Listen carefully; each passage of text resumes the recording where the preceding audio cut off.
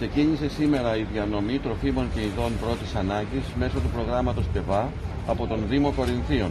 Θα μπορέσουμε με τον τρόπο αυτό να βοηθήσουμε 2.413 ε, πολίτες του Δήμου Κορινθίων και 4.000 οικογένειες, σύνολο γύρω σε 7.000 άτομα, σε όλη την Κορινθία, γιατί ο Δήμος Κορινθίων έχει αναλάβει την υποχρέωση να εξυπηρετήσει και τους άλλους Δήμους, σε οικογένειες που έχουν ανάγκη.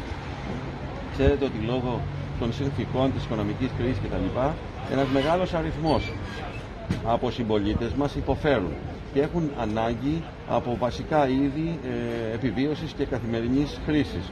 Για τον λόγο αυτό ο Δήμος Κορινθίων έκανε ό,τι χρειαζόταν και ξέρετε ότι ήταν πολλά τα εμπόδια που μέχρι σήμερα αντιμετωπίσαμε στο πρόγραμμα ΤΕΒΑ ε, να κάνουμε πράξη αυτό που ξεκινάει σήμερα με ενόψη και των ημερών του Πάσχα να έχουμε την πρώτη διανομή, θα ακολουθήσουν άλλες τρεις και το σύνολο των χρημάτων τα οποία τελικά θα διατεθούν είναι πάρα πολλά, είναι 2.300.000 ευρώ περίπου για φέτος και διασφαλίσαμε με τη σύμβαση που υπεγράφει ότι θα έχουμε και καινούργια χρηματοδότηση για την επόμενη χρονιά.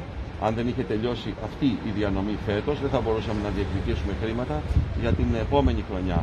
Είναι ένα μεγάλο πρόγραμμα ε, το οποίο είναι ε, από την Ευρωπαϊκή Ένωση και για τον λόγο αυτό ε, εμείς είμαστε κοντά στους πολίτες που έχουν ανάγκη. Θέλω να ευχαριστήσω όλους όσους είδατε και είναι αρκετοί σήμερα από τους υπαλλήλους του Δήμου είναι στην υπηρεσία που χρειάζεται για να γίνει η διανομή.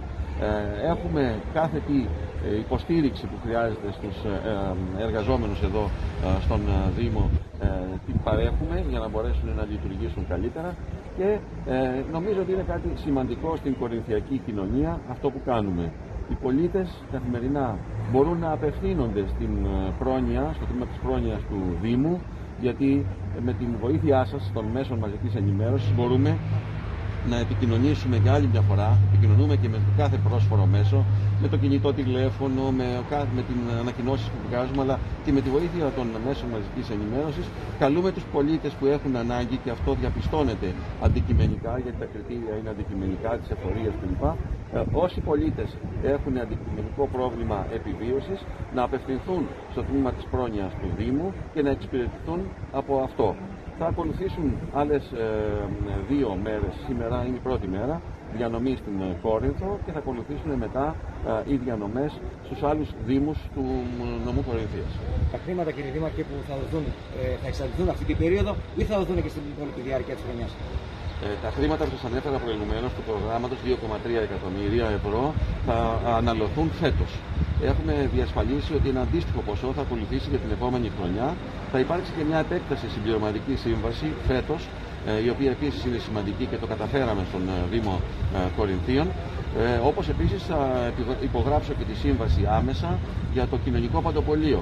Είναι ένα ποσό γύρω στις 700.000 ευρώ το κοινωνικό παντοπολείο το οποίο πολύ σύντομα θα αρχίσει να λειτουργεί, δηλαδή πριν τη Μεγάλη Εβδομάδα θα έχουμε τη δυνατότητα να μοιράσουμε τρόφιμα από το κοινωνικό παντοπολείο.